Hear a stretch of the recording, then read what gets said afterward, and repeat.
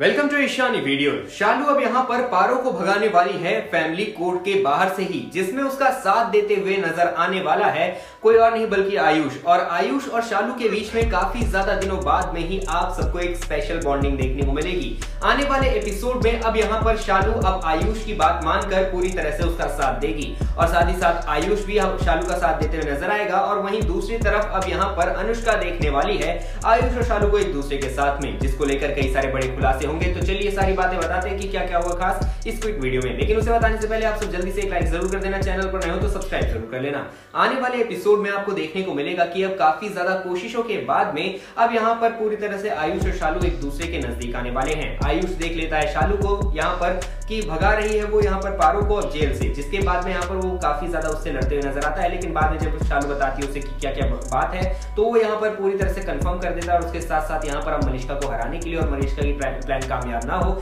इस वजह से यहाँ पर आयुष भी अब शालू का साथ देता है और वो यहाँ पर गाड़ी लेकर चला जाता है। लेकिन आयुष और शालू को मिलते हुए एक साथ में यहाँ पर देख लेती है अनुष्का और अनुष्का यहाँ पर देखती है कि आयुष और शालू एक दूसरे से गले मिल रहे हैं। पहले से उसे शक था, लेकिन यहाँ पर ये शक अब सही होने वाला है और उसके साथ साथ यहाँ पर अब ये सारी बातें और यहाँ पर पूरी तरह से पूरे घर वालों के सामने बखेड़ा खड़ा करते हुए अनुष्का नज़र आएगी, जिसको लेकर अब यहाँ पर ऋषि भी काफ़ी ज़्यादा गुस्सा होने वाला है। तो आप कितने ज़्यादा एक्साइटेड आने वाले एपिसोड देखने के लिए कमेंट करके ज़रूर बताना। चैनल पर अभी तक सब्सक्राइब नहीं है तो सब्सक्राइब ज़रूर कर लेना। मिलते हैं आपको नेक्स्ट वीडियो में और वीडियो और इंटरेस्टिंग अपडेट्स के साथ में। Thank you